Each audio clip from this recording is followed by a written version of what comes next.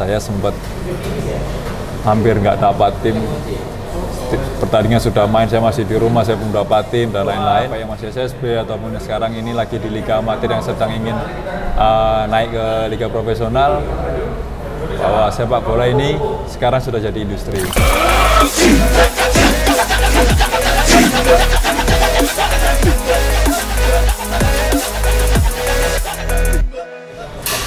Oke, uh, hai semua, saya Johan Yoga. Uh, posisi saya, saya bermain striker, usia saya sekarang 31 tahun. Uh, pertama awal mula saya memilih untuk jadi pesepak bola itu karena sebenarnya almarhum bapak saya itu kan seorang petinju. Nah, seorang petinju, beliau mengharapkan saya juga jadi penerusnya untuk jadi seorang petinju.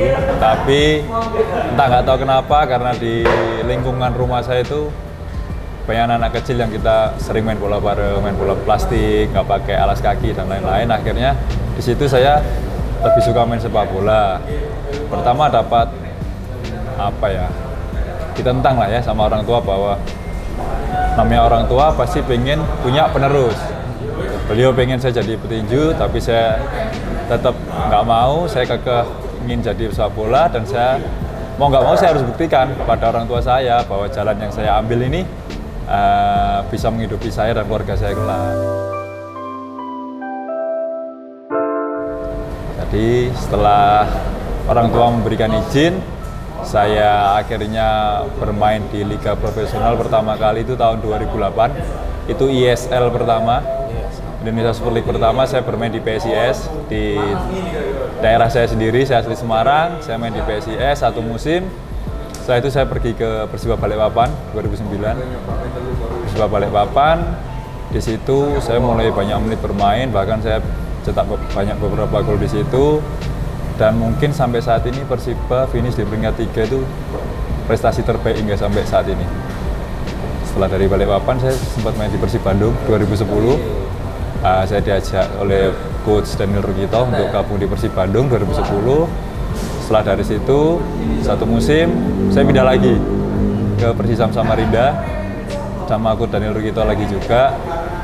Uh, jadi ceritanya saya ini banyak tim mas ya. Yeah. seribu bendera dibilang wow. anak-anak itu ya. Saya main di Persisam setelah itu saya pindah lagi ke Balikpapan.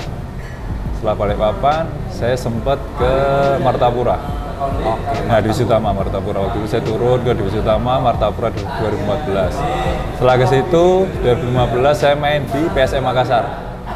Tapi hanya pertanding dua kali pertandingan KNB League liga dibekukan. Ya, ya. Ya. Liga di Bennett, PSSI di Bennett dibekukan. Akhirnya saya kembali ke Semarang. 2016 saya ikut PSIS lagi. Di waktu itu belum ada kompetisi, hanya turnamen ISC ya. Kalau divisi utama ISC, di Liga satunya kan TSC. Saya main di PSIS ISC 2016 sampai 2017. 2016 saya top skor turnamen. 2017 saya main di PSIS. Terus 2018 saya main di Persis Solo. Setelah dari Persis Solo, saya kembali lagi ke Liga 1 main di Badak Lampung. Ya, setelah Badak Lampung, saya sempat ke Semen Padang tapi baru satu kali pertandingan COVID. Ya. ya setelah COVID vakum lama, akhirnya saya dihubungi Persebaya untuk kompetisi tahun ini gabung ke Persebaya Surabaya. Itu, itu sih mas. Lumayan oh, panjang ya. Panjang kalau bisa dibilang tuh lebih dari 10 tahun lebih ya. Lebih mas. Dari lebih. 2008 sampai sekarang berarti hampir 14. Hampir 14, 14 tahun 14 ya. Tahun, 14 tahun. Uh, momen yang bikin saya bangga itu sebenarnya justru ketika saya bermain kembali lagi ke PSIS 2016 meskipun waktu itu kita bermain di divisi utama ISC ya tapi saya bisa menjadi top skor peraya, uh, pencapaian menurut saya pencapaian seorang striker jadi top skor kan pencapaian Betul. luar biasa luar ya biasa. Uh, prestis buat saya ya waktu saya main di PSIS itu. Saya pernah merasakan waktu itu pahitnya, benar-benar pahit itu ketika saya setelah dari Persiba Balikpapan 2016 2013 saya sempat hampir nggak dapat tim. Pertandingan sudah main saya masih di rumah saya belum dapat tim dan lain-lain. Ya akhirnya saya tetap bersyukur saya main di Martapura walaupun waktu itu divisi utama tapi paling enggak eh, saya bersyukur itu karena kita bisa sampai semifinal walaupun nggak lolos ke Liga 1 ya yang menurut saya yang terendah itu sih karena konstan dari awal sampai di 2013 itu kan saya main terus di liga teratas ya. Pertama kali saya turun ke divisi utama ya main di Martapura itu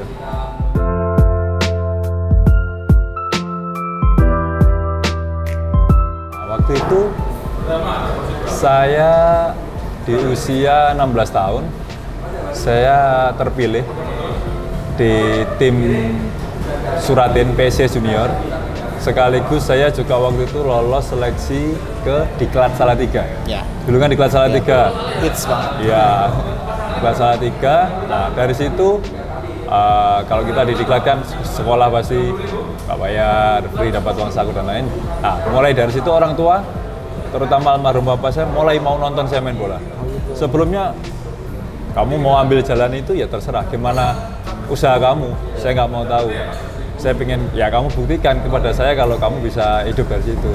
Alhamdulillah saya masuk ke kelas tiga itu. Terus orang tua sedikit ada sinyal-sinyal positif bahwa beliau mendukung Meluluh ya. ya luluh hatinya oh ternyata anak saya juga punya bakat di sepak bola akhirnya beliau mendukung sampai ya saya bisa seperti sekarang ini Kalau boleh tahu almarhum ayah itu atlet tinju nasional? Iya, di nasional. Oke, namanya siapa kalau boleh diceritakan? Nama bapak saya, bapak saya asli dari Timor Leste. Iya. Eh, cuma sudah lama di Semarang waktu itu. Bapak saya namanya John Berry. Dulu pertama kali ikut di camp Surabaya, terus terakhir waktu di Semarang, beliau di Pangbuana Semarang. Makanya ingin sekali anaknya menjadi ada yang meneruskan. Ya betul. Kebetulan masnya uh, anak pertama laki-laki. Saya anak pertama laki-laki. Uh, pantesan Iya, bapak besar. harapan besar untuk saya jadi petinju juga. Tapi akhirnya ada yang meneruskan ke dunia tinju. Gak ada. Ada. Tapi punya jalannya masing-masing ya Iya. mas ya. Pesan dari saya sendiri untuk adik-adik semua bahwa ketika kita punya keyakinan, ketika kita ingin uh, membuktikan kepada seseorang atau ingin meraih mimpi kita, ya kita harus kerja keras. Karena nggak akan ada hasil atau apa-apa tanpa kerja keras. Dan yang kedua, pasti harus doa restu dari orang tua. Karena sehebat apa pun kita tanpa doa dari orang tua itu akan mustahil seperti itu. Makanya saya selalu ingatkan pada uh, adik-adik semua, baik yang masih SSB ataupun yang sekarang ini lagi di Liga Amatir yang sedang ingin uh, naik ke Liga Profesional, bahwa sepak bola ini sekarang sudah jadi industri. Kita kalau jadi profesional, insya Allah kita dapat pendapatan lebih dari orang-orang yang mohon maaf mungkin yang kerja-kerja biasa saat ini kita alhamdulillah dapat. Nilai yang lebih tinggi. Makanya ya itu tadi jangan lupa kerja keras dan yang kedua tetap doa orang tua itu nomor satu.